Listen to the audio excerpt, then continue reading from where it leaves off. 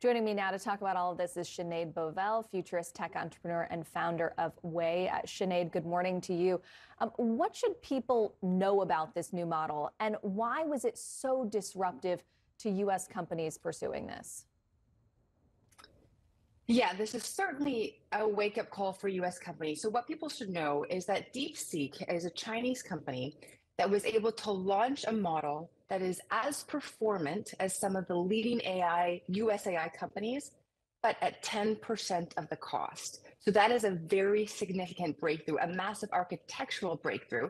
And it's technically a win for innovation overall because US companies are going to look at this and be able to add what they're currently doing, add this Chinese method to what they're currently doing.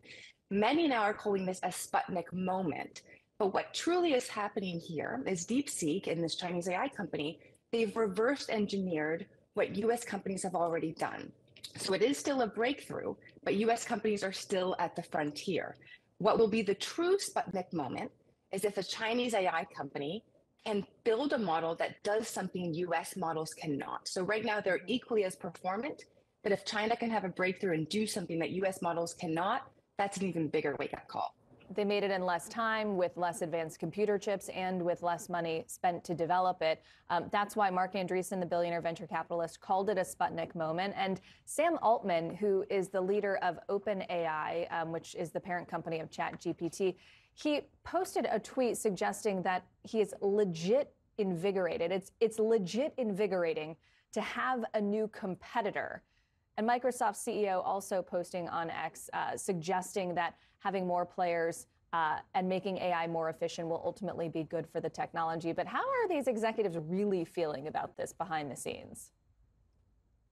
So probably mixed. I would agree that for some for a company like Microsoft and even Nvidia, this is technically a good thing because the cheaper AI gets to build, the more people are going to use it. So the more efficient it becomes, the more use and the more dispersion we're going to see of artificial intelligence. If you're in the hardware business or the cloud business, so or you make chips such as Nvidia uh, or Microsoft, you make hardware or you make applications. This is a good thing for you.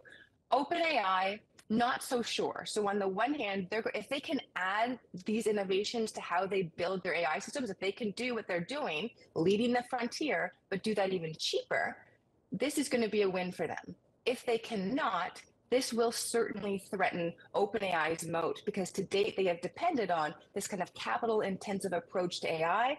Well, DeepSeek has shown that that's not the only way.